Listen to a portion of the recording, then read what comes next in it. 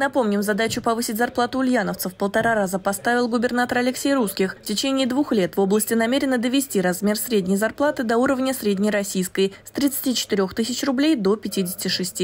Для этого глава региона создал профильную комиссию, куда вошли отраслевые министры и главы муниципальных образований. Как отмечает председатель комиссии, проведены встречи с руководителями двух тысяч организаций. Заключено более тысячи соглашений между компаниями и властью о темпах роста оплаты труда. Зарплату повысили и примерно 90 миллионов уже мы получили в виде НДФЛ, дополнительных средств на сегодняшний день. То есть э, по предприятиям где-то на 11%, где-то на 18%, где-то на 20%, а где-то на 30% повышена заработная плата. Но будем продолжать эту работу, комиссия будет действовать постоянно.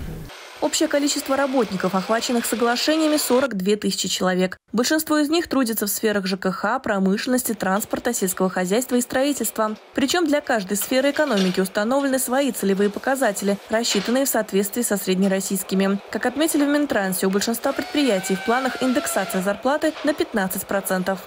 Уже порядка 80% автопредприятий заключили соглашение о повышении заработной платы 22, 23, 24 год на 15%. Поэтому работу проводим, э, все идут навстречу, а пока никаких э, у нас проблем не было. Среди организаций, которые уже провели индексацию, оказались металлоконструкция, кондитерская фабрика «Глобус», Жадовский лесопромышленный комплекс, Майнское автотранспортное предприятие. 70 предприятий выразили готовность повысить зарплату своим работникам. Среди них можно выделить такие крупные компании, как Ульяновский патронный завод, завод «Искра», компания «Немок» и ряд других. Э, мы продолжаем эту работу и в ближайшее время э, мы ожидаем, что порядка еще 50 соглашений будет заключено до конца текущего года.